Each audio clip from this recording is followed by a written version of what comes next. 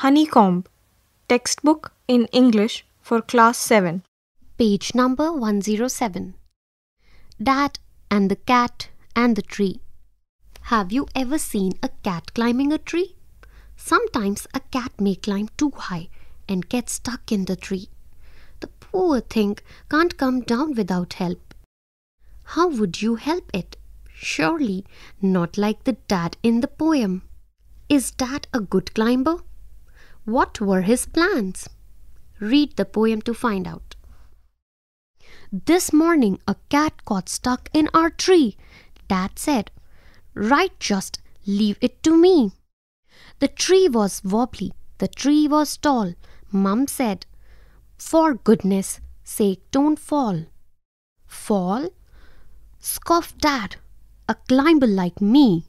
Child's play, this is. You wait and see. He got out the ladder from the garden shed. It slipped. He landed in the flower bed. Page number 108. Never mind, said Dad, brushing the dirt off his hair and his face, and his trousers and his shirt. We'll try plan B. Stand out of the way. Mum said, Don't fall again, okay? Fall again? said Dad. Funny joke. Then he swung himself up on the branch. It broke. Dad landed wallop, back on the deck. Mum said, Stop it, you'll break your neck. Rubbish, said Dad. Now we'll try plan C. Easy as winking. To a climber like me. Then he climbed up high on the garden wall. Guess what? He didn't fall. He gave a great leap and he landed flat in the crook of the tree trunk right on the cat. The cat gave yell and sprang to the ground, pleased as punch to be safe and sound. So it's smiling and smirking, smug as can be, but poor old dad's still stuck up the tree. Page number 110.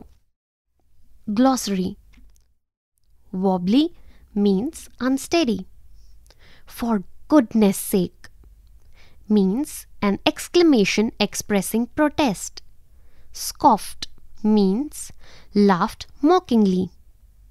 Child's play means very easy to do. Landed wallop means fell heavily.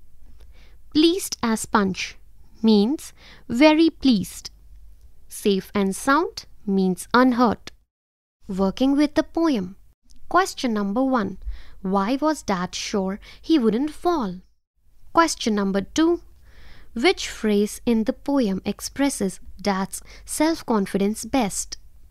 Question number three Describe Plan A and its consequences. Question number 4. Plan C was a success. What went wrong then? Question number 5. The cat was very happy to be on the ground. Pick out the phrase used to express this idea. Question number 6. Describe the cat and dad's situation in the beginning and at the end of the poem. Question number 7. Why and when did dad say each of the following? First, fall Question mark. Second, never mind. Third, funny joke. Fourth, rubbish. Question number 8. Do you find the poem humorous? Read aloud lines which make you laugh. Honeycomb. You were just listening to this audiobook.